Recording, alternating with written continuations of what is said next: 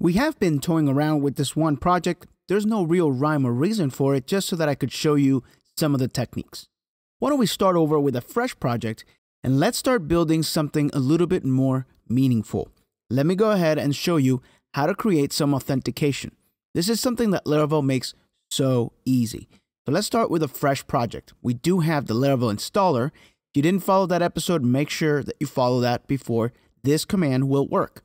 But in your terminal, you should be able to run Laravel and you should get the latest version of the Laravel installer.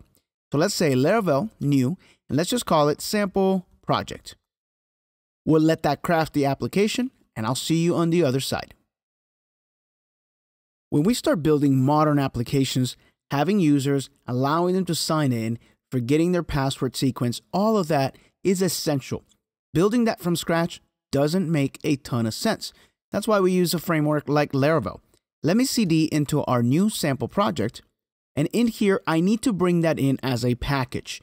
If you've ever followed any tutorial on Laravel authentication, it may say to do something like PHP artisan make auth that is no longer available. Notice we get a list of other things that you can do, but that is no longer an option.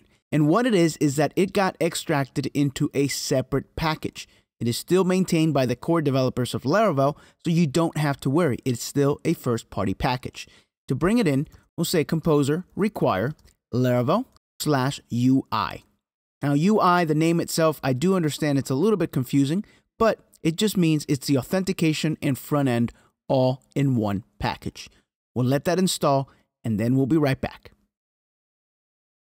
And it's installed. Now, one thing that may not be super clear just yet is what is this idea of packages? We're not quite ready to dive into what it actually is 100%, but just keep in mind that it is just a way for us to add additional functionality that doesn't ship with Laravel. Imagine that Laravel came with every single possible thing that any user could potentially need. Well, in that case, Laravel would be huge. It doesn't make a ton of sense. So Laravel ships with what most people are going to need. Then the extra 5%, that's going to be custom for your application, and you bring those in as packages. That's all we need to know right now. Most modern Laravel packages, they do something called auto discovery. And we take a look right here, discovered package. So it basically found itself and it said, hey, I need to hook into this Laravel application, and it does just that. We will in the future dive deeper, and I even have a full entire course on how to create your own packages. But for now, don't worry about that. All we need to know is that now we have this UI and we finally have authentication. But what it gives you is a separate command. If we run PHP Artisan, there's this new UI section right here, and it's called UI auth. This used to be the make auth. And again, it scaffolds a basic login and registration with views and routes. Let's run that now. PHP, artisan, UI, auth. And that's it. Let me go ahead and pop this open in my code editor. All right, I'll close that up. And let me go ahead and also run the serve and see that in the browser. PHP, artisan serve. All right, and let me bump in here. I'll close our previous project and we are good to go. The difference now is notice up here, we have login and we have register. But immediately we run into a bit of a problem. Notice that there is absolutely no styling in there for us at all. So in the next episode, let's talk about how to bring that back. We're not quite ready for that just yet. But if we wanted to go ahead and register a user, all we would need to do is set up a database for them. Let me go into Sequel Pro. I already have this set up. Let me go into my local host and then let me add a new database here. We'll just call it sample.